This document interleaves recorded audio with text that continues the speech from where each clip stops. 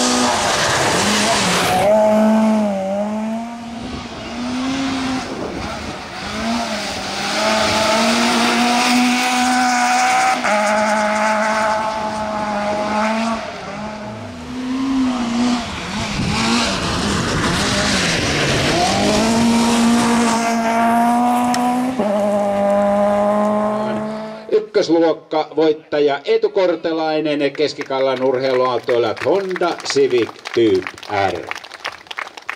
Ja tässä välissä, kun paikalla on porukkaa paljon, niin sen verran tietoa, että yksi kakkonen Joni Korhonen Keskikallan urheiluautoilla Peukeot 208.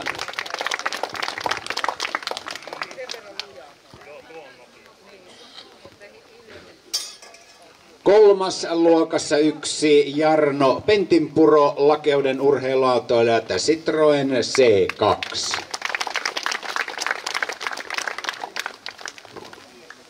Ja luokka yksi nelonen Jari Koski Autoliitto Härmä PMV M3.